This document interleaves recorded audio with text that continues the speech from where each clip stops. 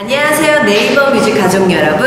손담비입니다. 2012년 11월 12일. 어, 드디어 제가 2년 만에 네 번째 미니 앨범으로 여러분 곁으로 찾아뵙게 되었는데요.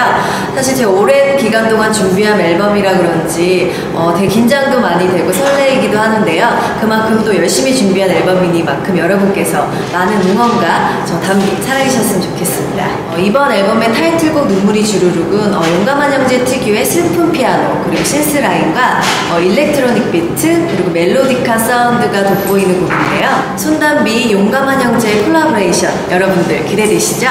2012년 11월 15일 첫 방송 어, 차가워진 마음을 눈물로 녹여줄 눈물이 주르륵 어, 제가 열심히 준비한 만큼 정말 최선을 다할 테니까 여러분들도 어, 많은 사랑 부탁드리겠습니다. 어, 여러분 날씨가 점점 추워지는데요. 여러분들 감기 조심하시고 어, 저도 열심히 준비했으니까 많은 사랑과 관심 부탁드리겠습니다. 어, 건강하시고 응원 많이 해주세요. 지금까지 손담비였습니다.